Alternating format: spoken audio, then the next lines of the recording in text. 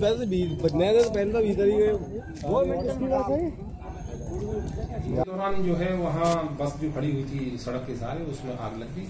इसकी सूचना पर पुलिसकर्मियों ने खुद और पब्लिक के सहयोग से आग को उजाड़ दिया गया है और आग लगने के कारण की जाँच पुलिस द्वारा की जा रही है। जो भी तथ्य सामने आएँगे, उसके तथ्यों के आधार पर अभियोग पंजीकृत करके कार्रवाई की जाएगी। और आग लगाने वाला अगर कोई ऐसा असामाजिक तत्व है तो उसको बख्शा नहीं जाएगा। सर, जो झगड़ा हुआ था, उसमें किसी को हिरासत में लिया गया नहीं, अभी किसी को हिरासत में नहीं लिया गया है। किसी तरह की कोई एफ़ आई आर पंजीकृत कराने के लिए कोई आवेदन प्राप्त नहीं हुआ है। लेकिन संज्ञान में ये आया है कि रोडवेज़, राजस्थान रोडवेज़ के कुछ कर्मी आने वाले हैं।